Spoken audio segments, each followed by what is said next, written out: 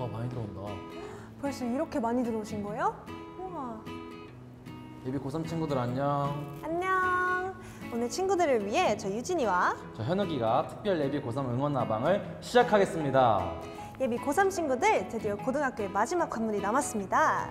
하지만 절대로 네버 두려워하지 마십시오. 지금부터 열심히 하면 목표라는 대학, 학과 다 가실 수 있습니다. 하루에 딱 한 문제씩만 더 맞춘다. 이렇게 목표를 잡아보는 방식은 어떻습니까? 그렇게 조금씩 한 걸음 한 걸음 가다 보면 2023 수능에서 분명히 좋은 결과가 있을 거라고 저희 유진이가 확신합니다. 그쵸? 맞아요. 예비 고3 여러분. 저희가 응원할 테니까 너무 걱정하지 마십시오. 맞아요. 우리 모두 잘할 수 있다. 모두 끝까지 끝까지 화이팅! 화이팅!